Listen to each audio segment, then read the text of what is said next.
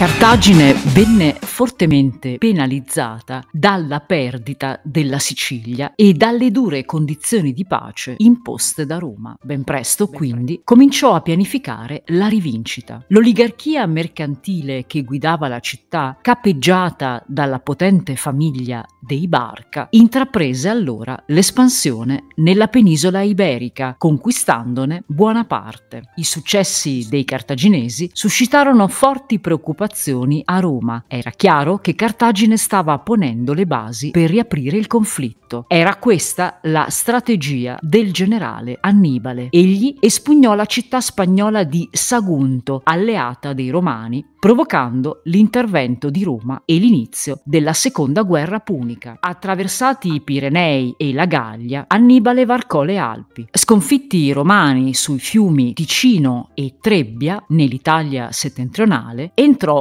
in Etruria e nel 217 a.C. sul lago Trasimeno sconfisse di nuovo i Romani guidati dal console Caio Flaminio. La strada per Roma era aperta, ma Annibale, constatando che gli italici restavano fedeli a Roma, si spostò in Puglia per sollevare contro i Romani le colonie greche. L'esercito inviato da Roma in Puglia fu pesantemente sconfitto a Canne nel 216 a.C. La svolta